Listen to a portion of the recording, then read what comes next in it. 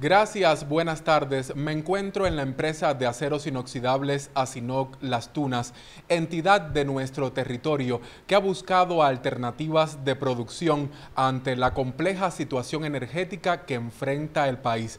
Por ello, converso con Onis López, quien es el director adjunto de la entidad. Onis, ¿qué ha hecho Asinoc para enfrentar esta contingencia energética en cuanto a producciones alternativas?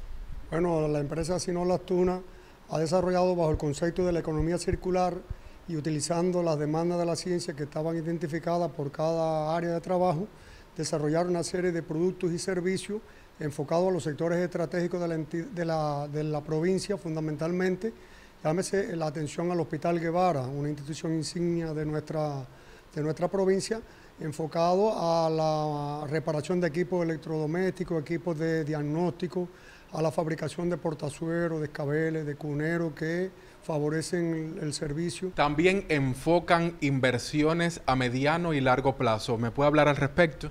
Sí, nosotros, a ver, eh, seguimos apostando por las inversiones porque necesariamente el desarrollo de esta industria tiene que ser a invertir, a lograr eh, la reanudación de nuestro laminador de productos eh, de acero al carbono, acero aliado y, y, y inoxidable en el futuro que es una aspiración que tenemos, pero ir paso a paso, logrando que eh, podamos sustituir importaciones, eso es uno de los, de, los, de los anhelos que hoy tenemos, así como lograr también, de conjunto con otros ministerios, obtener nuevos sistemas de abastecimiento metálico a nuestro horno que permita dar respuesta a estas, a estas producciones que estamos proyectando hacia el futuro, con el objetivo de maximizar las exportaciones.